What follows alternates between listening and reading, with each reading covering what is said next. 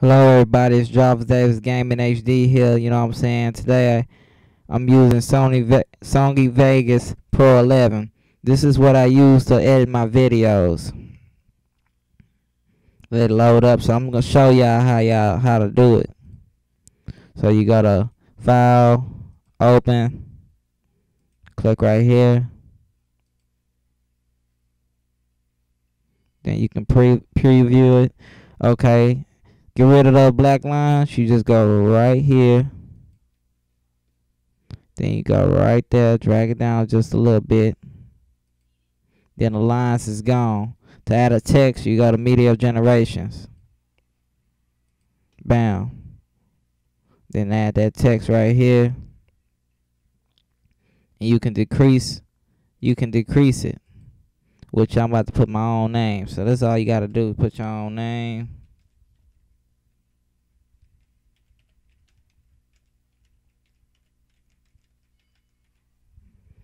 So that's all you gotta do. Oh, and you can change the color too. I'm gonna change mine to black. Then there's my name. You just put the name right here or any way you want to put it. And then after that, you gotta render as. You can put it as 1080p or 720. So if I yeah, I do 720p. So then you gotta render, and then after that, let me render it. Wait, you could change to you could change your name and stuff. So yeah, you just go right here, or call it whatever you want. Testing. And you render. So I'm gonna cancel it. There's your name. It's gonna render. Then it's booyah, y'all.